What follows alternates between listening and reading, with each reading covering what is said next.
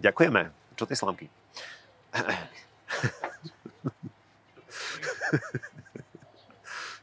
to je prirodzený Pavlov reflex. Ale prešiel si touto skúškou, lebo to sme na teba nachystali, že ako zareaguješ. Takže, takže dobre zareagoval si. Celkom slušivé. Počúvaj, inak pri zbere odpadkov nájdeš toľko obuví, a to ľudia potom idú domov bosí? Ja tomu neviem, ne, neviem tomu niekoľko rokov už prísť na, na klub, že čo sa deje, ako sa stane, že ťa vyzuje po ceste domov.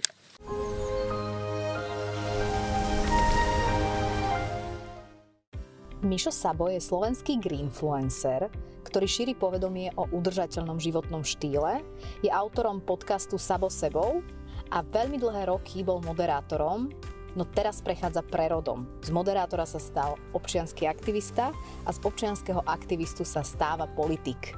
S Michalom sme sa rozprávali nielen o tom, ako fungovať udržateľnejšie navonok, ale najmä o tom, ako fungovať udržateľnejšie vnútri. Miško, ďakujem, že si prišiel do tento deň zverí, aj keď vlastne my sme prišli k tebe. Veľmi si to vážim, že ste merali tak dlhú cestu do Petržalky bolo to dosť ďaleko a bolo to dosť náročné, ale to si potom vyrovnáme. Moje prirodzené prostredie. To a toto všetko ti vlastne patrí? Áno, srdcom. Polovica Petržal. srdcom čo? Som tu rezident, áno. Ale si srdcom udržateľný a to je to, prečo si tu. A tvoja cesta, verejná cesta udržateľnosti a takého naozaj aj influencera, aj, aj človeka, ktorý zvyšuje povedomie o tejto téme, sa datuje možno 2,5 roka dozadu, tak nejak kde, za, kde sa to u teba ale začalo? Kde bol, bol nejaký aha moment? Mm-hmm. Nejaký zlomový moment? Bol a väčšinou sú tie aha momenty uh, spojené s nepríjemnými a toxickými vzťahmi a tak to bolo aj u mňa.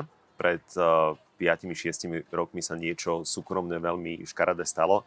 A mne vtedy, ja to tak hovorím, že som sa dosť vracal zo svojho vlastného života a prestal som rezonovať absolútne so všetkým na všetkých možných úrovniach s tým, kto som v tom verejnom obraze, ako sa obliekam, ako sa stravujem, ako vyzerám, ako sa nestarám o svoje zdravie, ako sa nestarám o svoje telo, um, ako mám úplne prevrátené priority, tak mne sa to tak otočilo ako presýpacie hodiny zrazu, ale um, nešiel som na to riešenie tých dopadov a dôsledkov um, hurá systémom. Išiel som krok za krokom a trvalo mi to 2, 3, 4 roky, kým som sa nejako upratal v rámci toho svojho vzťahu sám k sebe.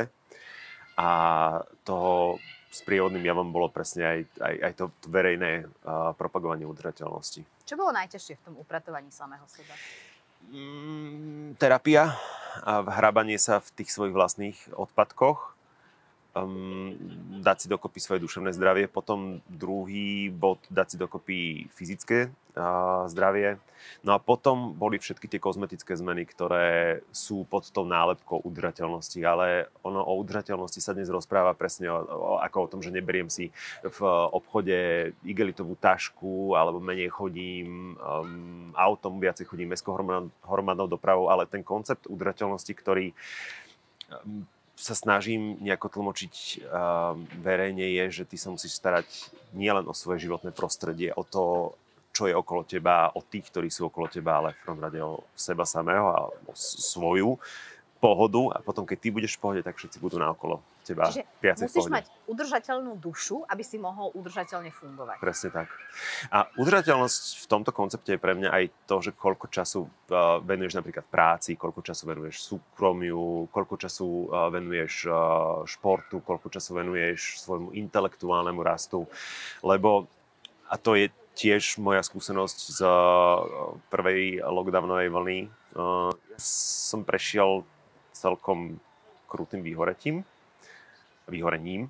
Um, a, a vtedy som tak, tak nejak si uvedomil, že vlastne celé to treba inak nastaviť a inak si upraviť ten svoj pracovný rytmus a svoj súkromný čas a venovať sa sebe a venovať sa ostatným, venovať sa blízkym, venovať sa životnému prostrediu a, a nebyť tak šialene oddaný len tomu, že treba, treba pracovať a pracovať a pracovať a zarábať cash. Čiže u teba bola vlastne tá, ten prerod osobnostný a potom prišiel aj udržateľnostný prerod, že to súvisí jedno s druhým. Ale ja tu teraz v nejakej bubline evidujem, že táto téma čoraz viac rezonuje. Ty máš na sebe aj odznak petície Klíma ťa potrebuje, kde ste minulý rok, ako keď si bol ešte spoluorganizátorom tejto petície, vyzbierali 127 tisíc podpisov najskôr, aby sa to prerokovalo v parlamente. A nejaký výstup z toho bol, ale teraz sa to obnovilo, táto petícia a Máš pocit, že tá reakcia bude silnejšia na ňu, alebo že tie, tá vrchnosť, ktorá by sa mala tým zaoberať, že možno lepšie na to zareaguje, keď, keď už minulý rok to bolo 130 tisíc ľudí, čo vyjadrilo nejakú obavu o to, ako to tu dnes bude a ktorí možno veľa z nich chodili s tebou zbierať odpadky. Takže že tento rok to možno naberie trochu iný spát? Otázne je, či to bude ešte tento rok, lebo ten nábeh tento rok je, je pomalší tej petície, aj s tým sme počítali, alebo teda iniciatíva s tým počítala, lebo minulý rok to bolo niečo nové, bol to hurá systém, pomerne dosť výrazne sme rozkopli dvere, aj, aj ten ošial na sociálnych sieťach bol teda veľmi intenzívny.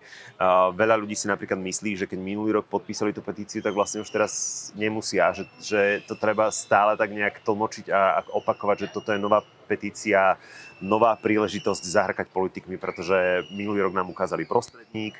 Um, Vnímaš to tak, že minulý rok vám ukázali prostredník? Vieš čo, hej, lebo um, príliš veľa statusov a príliš veľa fotiek a tlačových konferencií o nás bolo a, a aký sme super a že títo mladí ľudia tu robia revolúcie. Samozrejme, niektorí mali tú kon- konotáciu, títo mladí ľudia chcú revolúcie aj v tom negatívnom zmysle. Ale um, na konci dňa prijali uznesenie, ktoré môžeme nazvať, že je bez zube a bolo také meh. Ono ľudia aj inde reagujú, lebo veď napríklad teraz nedávno bol veľký klimatický štrajk, kde bola aj spomínaná Greta, bolo to v Nemecku, že tam boli plné námestia mladých ľudí, ktorí volajú po tých, po tých činoch. U nás na Slovensku to ešte nie je až také, také intenzívne, ale to je spôsobené asi aj tým, že my sme v podstate akože celkom safe zatiaľ. Že v, tom bezpečí, že... že v tom Nemecku napríklad fakt, že polovicu republiky spláchlo cez, cez prázdniny, čiže im to už alarmuje. My sme tu mali nejaké čičmany a to tamto, že čo. A vždy boli výkyvy, a, a, vždy, a vždy, vždy, vždy, sa, vždy sa dialo, vždy sme si, vždy, a to je to, že, že si v lete po, ponadávame, že oh, to počasie a, tá, a také teplo nám je. Ďakujeme. Čo tie slamky?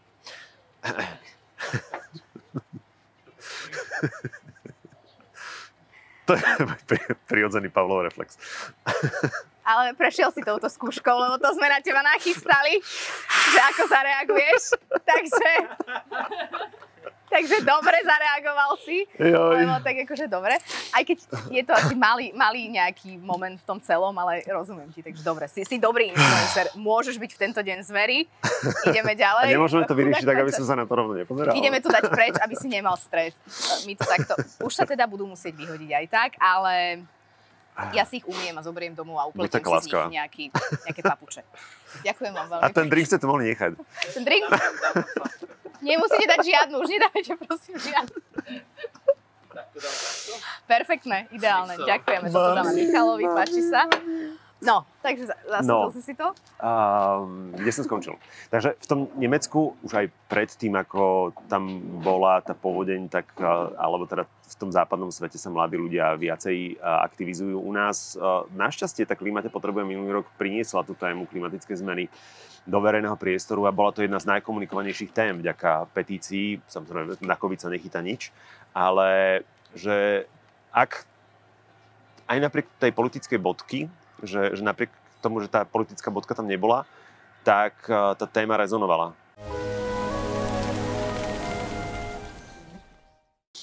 Európska únia chce dosiahnuť uhlíkovú neutralitu do roku 2050. Je to dostatočne ambiciózny cieľ, alebo je príliš ambiciózny, alebo ako sme na tom? Ako vnímaš tento záväzok? No, otázka znie, že čo chceme urobiť a čo musíme urobiť. My vieme, že to musíme urobiť, keď chceme um, spomaliť a, a dodržať ten záväzok, že sa neoteplíme nad priemerne 2 stupne oproti 1900.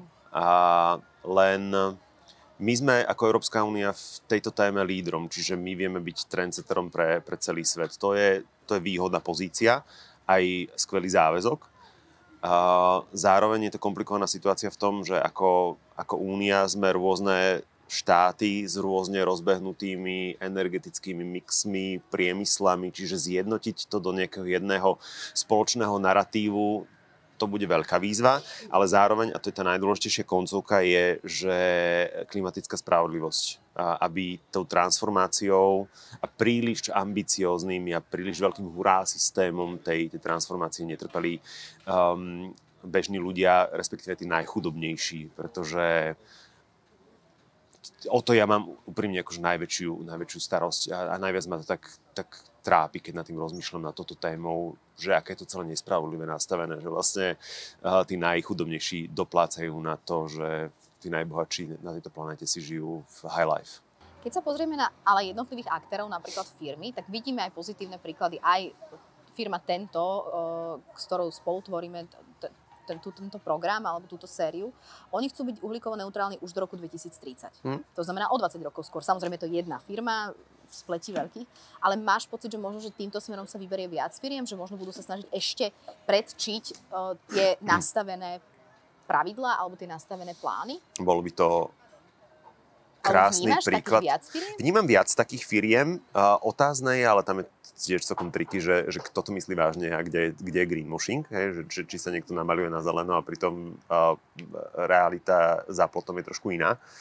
Ale čím viac lídrov uh, budeme mať aj v tom, tom firemnom sektore a v, v priemysloch, tak tým lepšie. Lebo zároveň aj firmy a spoločnosti môžu vychovávať a môžu presmerovávať narratív pri svojich zákazníkoch a to je, to je, to je, to je skvelé, keď v podstate firma, keď značka vychováva svojich zákazníkov. A je takých príkladov naozaj už desiatky firiem, ktoré to naozaj myslia vážne a, a ich zákazníci lojalitne ich nasledujú presne v tom, v tom narratíve a je to krásne sledovať. A keď hovoríš o tom, že, že firmy vychovávajú svojich zákazníkov, tak nie je to niekedy o tom, že tí zákazníci a zákazničky vychovávajú tie firmy tým, že napríklad si budú vedomejšie vyberať produkty od tých, ktorí majú takýto záväzok. A ešte samozrejme otázne je, že si musia overiť presne, ako si povedal, či to myslia vážne, či to nie je len nejaká marketingová taktika, čo je ďalší problém pre toho chudáka spotrebiteľa a spotrebiteľku, ale uh, že myslíš si, že my ako bežní ľudia by sme mali pri výbere produktov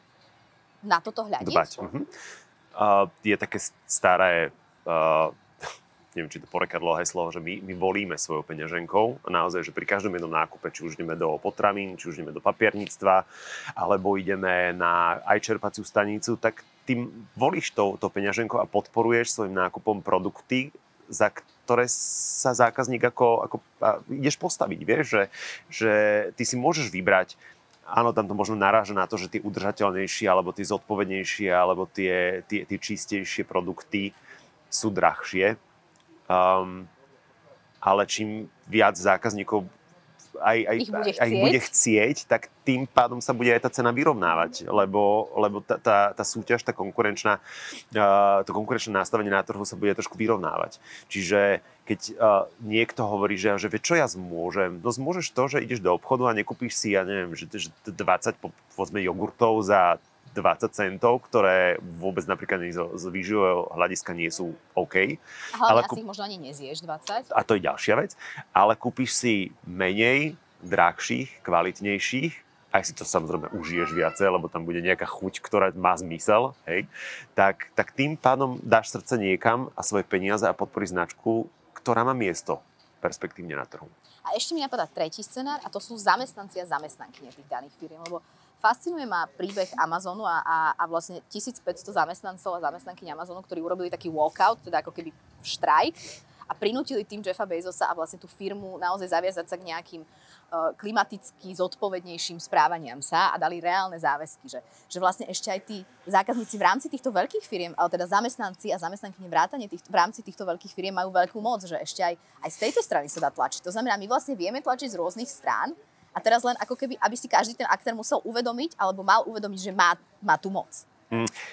Toto je veľmi dôležitá vec, ktorú hovoríš, lebo a to neviem, či je to iba téma udržateľnosti, ale to, to je absolútne častý argument, veď čo ja zmôžem, ja jeden sám, ja jedna sama, no zmôžeš toho veľa ideš teda nakupovať a podporíš značku, ktorá má miesto na trhu, pretože je zodpovedná, alebo si zodpovedný zamestnanec, môže byť zodpovedný, a teda nie, že môžeš, ale podľa mňa každý musí byť zodpovedný občan a voliť nielen na základe statusu na Facebooku, ale urobiť si aj trošku rešerš, komu vo voľbách dávaš hlas.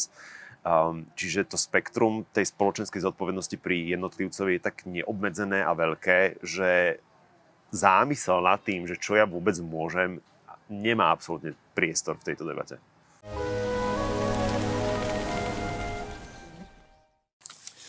Keď sme sa rozprávali o tej uhlíkovej neutralite, no. tak ako si máme predstaviť, e, ako sa zmení život, keď by sa dosiahla do toho, dajme tomu, do toho roku 2050, že pre bežného človeka, že my to budeme nejak cítiť? No, v ideálnom scenári... V praktickom živote, myslím? v ideálnom scenári by to malo, malo byť tak, že si predstavme lepší svet, ktorý bude zdravší, um, či už funkčne, že bude čistejší vzduch, a budeme mať krajšiu, zelenšiu prírodu, že budeme mať mestá, v ktorých nebudeme odpadávať cez leto. Sice bude teplejšie, ale tie mesta budú adaptované na tú zmenu. Um, nebudeš mať teplotné ostrovy, nebude to nebezpečné pre deti a pre starých ľudí, ktorí sú náchylní na tie teploty. A tam je nejaký plastík. A budeš mať lepšiu funkčnejšiu verejnú dopravu, dokonca aj uh, bohatí ľudia nebudú, nebudú um, tak radi sadať do svojich aut. Lebo, lebo to bude pre nich nekomfortné? Lebo to bude pre nich nekomfortné a budú s verejnou dopravou rýchlejšie tam, kde potrebujú byť napríklad. Jednoducho, tá pointa, tá koncovka je, a to je asi to, čo by sme mali tlmočiť všetci, že my tým, že dosiahneme uhlíkovú neutralitu, tak to vieme celé skvalitniť, zlepšiť, sfunkčniť, tak, aby sme sa mali všetci lepšie. Čiže je to vlastne vo našom vlastnom sebeckom záujme, Áno. okrem planetovom. Ak niekto straší tým, že teraz prídeme o robotu a budú, budú fabriky prepúšťať, no ale veď tie udržateľné alternatívy tiež, no, tiež niekto musí vyrábať a tiež nejako musia vznikať, čiže uh, nebyčujme sa predstavou, budeme trpieť nebyčujme súhlasím, no. ale buďme vedomí. Ja som čítala teraz nedávno článok jedného štatistika, čo ma zaujímalo, že štatistik sa k tomuto vyjadruje. A hovoril, že Ojej. bolo to o tom, že, že vlastne pomery individuálnej zodpovednosti versus toho systému. A on hovoril, že najviac, čo môžeme urobiť ako individuá, že je fajn samozrejme jesť menej mesa a menej chodiť autom, ale že podporovať alebo tlačiť na tých kompetentných, či už je to vláda alebo uh-huh. niekto na tých vysokých postoch, aby napríklad viac investovali do výskumu a do, do výskumu tých inovatívnych riešení a nových technológií, lebo že to presne veľmi málo využívame. To znamená, je to naozaj náš taký ako keby najsilnejší prínos v tomto, že budeme apelovať na to, aby jednoducho sa, sa modernizovala aj táto sféra? No, je to to najviac, čo môžeš v tomto pokročilom dátume spraviť. Lebo my sa o klimatické zmene, alebo teda o zmene klímy, o globálnom oteplovaní rozprávame ako spoločnosť už 30 ročia. Veci o tom rozprávajú už 50 ročí a ten čas nám, nám plinie a už sme prišli o luxus času, že budeme dumať o tom, že či ideme niečo robiť, už my musíme už niečo robiť. Mm. A čo ako jednotlivec môžeš spraviť uh, pravidelne? Tak to je podporať ľudí, ktorým záleží na tej dlhodobej udržateľnosti a nepodsúva iba také tie umelé, veď nemusím sa rozprávať o, o, o detailoch, ale tie umelé, zbytočné, polarizujúce témy. Áno. Ktoré nikam spoločnosť uh, neposúvajú. A tohoto sa ja inak najviac obávam, že, že či sme ready uh, venovať pozornosť tým dôležitým témam, že či nebudú hrať väčší prím stále tieto polarizujúce, populistické narratívy. Nepotrebuješ ešte platy. Rozmýšľam, čo sa tu stalo za, za, za to párty. To keby sa niekto vyzliekol. Že to si niekto nechal podľa mňa... Akože celý outfit? Outfit, no. Počujete, nepotrebujete niekto? Máme tu aj celkom slušivé. Počúvaj, inak pri zbere odpadkov nájdeš toľko obuví, a to ľudia potom idú domov bosí? Ja tomu neviem, ne, neviem tomu niekoľko rokov už prísť na, na klb, že čo sa deje, ako sa stane, že ťa vyzuje po ceste domov. Ako je tam verzia, že ideš z dobrého žúru. Ale ja som sa inak nikdy po ceste z dobrého žúru, a to ja nosím aj podpätky, to znamená, že občas, ale vždy som ich si doniesla domov zatiaľ. No, tak Pozri, niek- toto je normálne, že pekná teniska. Niektorí ľudia to majú inak. A toto vyzerá aj moje číslo inak. Môžem si to umyť. Počkaj. No, 37, prosím. Fakt? Mhm. A máme aj druhú. Škoda, že mám druhú. Máš aj druhú? No, druhá, druhá, je tu, pozri sa. Ideš doma v nových botách. Dobre, nechaj mi toto si zoberiem potom, keď budeš dotriedovať. No, takže čo... Myslím, že boty do roboty, ale boty z roboty. Počúvaj, ale nie je to strašné, ja viem, že to je také ako, že wow, teraz som objavila Ameriku, ale že žijeme vlastne v tak bohatom svete, že niekto normálne takto funkčné tenisky nechá hodené. Toto zase vyzerá ako tvoje číslo. 45. Ty máš 45 nohu? Aha. Mne by sa tam dve zmestili. Ono, niekto si môže povedať, že aj to Nemecko sa tou klímou začalo zaoberať v zásade v momente, kedy už mali nejakú životnú úroveň, kedy už nejak nejakým spôsobom tá spoločnosť fungovala tak, že nechcem povedať, že bolo dobre, ale bolo minimálne OK. A u nás veľa ľudí má pocit, že toto príde až vtedy, keď. Že vyriešime zdravotníctvo, začneme, vyriešime školstvo, vyriešime infraštruktúru a potom OK, príde to a začneme riešiť tú klimatickú zmenu. No a potom poďme do Indie alebo do afrických krajín, ktoré už trpia teraz naozaj aktívne, alebo na Madagaskar, alebo toho, hoci kam do, do rovníkových uh, krajín, ktoré už pociťujú dopady klimatickej zmeny a oni nemajú ten benefit vybrať si, že idú k tomuto doktorovi alebo k tomuto doktorovi, či si dajú pichnúť takú vakcínu, alebo či budú si vyberať medzi pracovnými ponukami, alebo že či budú mať 3 polievky denne, alebo 4 kávy za týždeň. Takže ako je, je, dá sa naformulovať, alebo súhlasil by si s tvrdením, že ak nezačneme riešiť klimatickú zmenu ako prvý problém, tak tým ostatným problémom sa už vlastne nedostaneme? Mm, a, a to je tá najlepšia formulácia. Ono asi dôležité je uvedomiť si a pripomenúť každému, že my sme malá krajina. Na Slovensku je nás toľko, koľko je. V podstate nemáme nejaký globálny svetový impact. Ale teraz to nie je o tom, že my máme ako Slováci vyriešiť klimatickú krízu, že my máme prísť na to genius loci, ako vlastne to, to celé uchopiť. Uh, možno máme také vedecké kapacity, ktoré prispejú k tomu svetovému globálnemu riešeniu, ale my sa musíme pripraviť lokálne, pretože v tejto krajine chceme žiť. Tu chceme fungovať, tu chceme plodiť deti, tu chceme mať, mať svoj biznis, chceme mať záhradku, chceme chodiť e, v lete sa prechádzať okolo, okolo bytovky. To je to, o čom treba rozprávať, že my sa musíme pripraviť ako krajina, nie teraz riešiť to, že Čína a Amerika je iní. a ukazovať prstom nie, my si poďme vyriešiť to, v akom svete budeme žiť my tu na Slovensku, v tomto našom malom lokálnom svete. Ale nedá sa mi sa neopýtať na záver, že čo je taký tvoj ekologický prehrešok, environmentálny prehrešok, klimatický prehrešok, neviem, ako sa to dá ešte inak naformulovať. No, je to ešte stále auto. Uh-huh. Uh, ale uh, počkaj, teraz nechcem tam dávať to ale, aby to bolo uh, ako ospravedlnenie. Uh-huh celé leto som chodil vlakom po, po Slovensku, aj chodím uh, peši, aj máme super verejnú dopravu, aj električku tu v Petržalke, aj, aj bicykel mám, ale občas to jednoducho fakt nejde že máš nasekaný tak program, tak vtedy si poviem, že, že OK, tak, tak využijem to auto. Mhm. A máš toho nejaký akoby problém, alebo cítiš, že to je zlé? Lebo veď sám hovoríš, že keď sa naozaj snažíš 90% toho času. Ale je, cítim to, že mohlo by to byť ešte, ešte lepšie, ešte viac času by som mohol sa presúvať to verejnou dopravou. Niekedy sa to naozaj nedá, lebo nemám 48 hodín v dni a zároveň teraz len preto, aby som mal udržateľnú verziu, aby som si kúpil elektroauto, lebo jednoducho nechcem mať ten svoj starý diesel, aj na to príde ale robiť o, len preto, aby som teraz bol úplne dokonalý, aby mi nikto nič nemohol povedať, to tiež podľa mňa nie je správne riešenie. Aby sme to otočili teda zase aj na to pozitívno, podiel sa ty s nami o nejaké tvoje tipy a triky, ktoré môže urobiť každý jeden a každá jedna, ktorá pozera toto video. Hmm. A možno ešte je naozaj úplne na začiatku tej svojej udržateľnej cesty. Že čo sú také, čo vieš zmeniť hneď a čo bude mať efekt prvom rade nezbláznite z toho, že teraz chcem, to je presne ten príklad toho, že, že chcem žiť 100% udržateľne, tak musím e, predať svoje staré auto, aby som si mohol zadovážiť. Uh, elektro to nie je riešenie, že robiť e, zbrklé, rýchle rozhodnutia, pretože chceš dokonalosť, absolútnu dokonalosť neexistuje. Čiže postupne, krok za krokom, uváženie, zvážiť si presne, že, že dáva mi toto zmysel, dáva mi toto zmysel, dobre, toto mi až tak teraz zmysel nedáva, uh, že, že prídem o veľa času, keď budem chodiť tou verejnou dopravou, že tak nechám si to auto, ale budem chodiť do sekáča, budem obmedzovať meso, neviem, že rôzne tie verzie kolónky sú, čiže že postupne a, a postupne priberať ďalšiu a ďalšiu, ďalšiu aktivitu.